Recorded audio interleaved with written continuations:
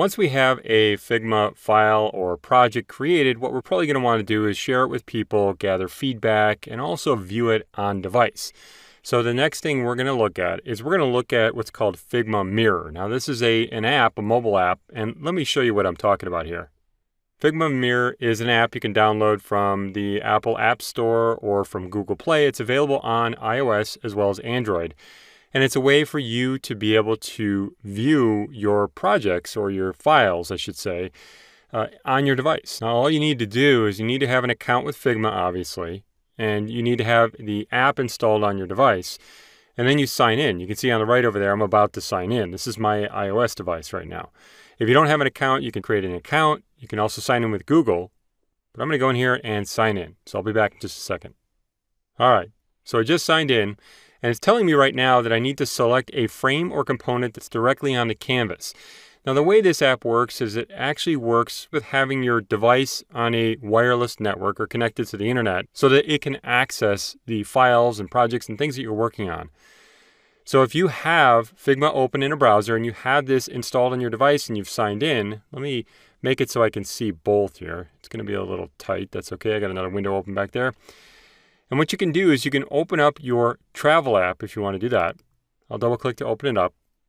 Now this is in Figma in the browser. And what we want to do is we want to actually click on a frame. Let's click on home, for instance, like the name of the frame up here. And on device, you're going to see it's going to say preview is loading. Now, what it does, this is kind of interesting. It's actually doing a 100% preview. Now it's not fitting to the device size. It's actually just, like I said, showing it at 100%.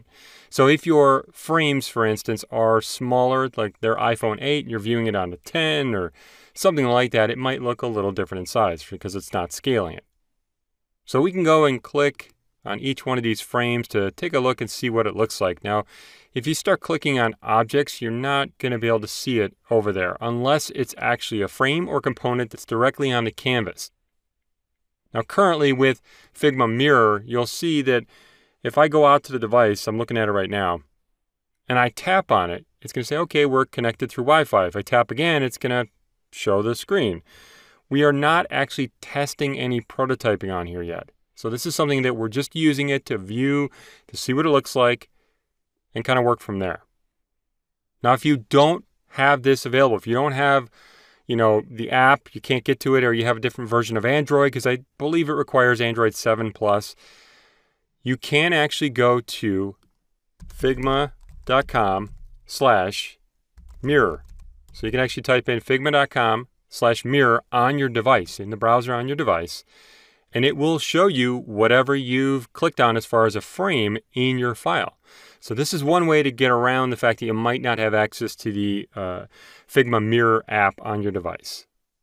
So this is just a fast, quick, easy way to be able to see what your frames look like. In other words, what your files and projects are looking like directly on device using Figma Mirror.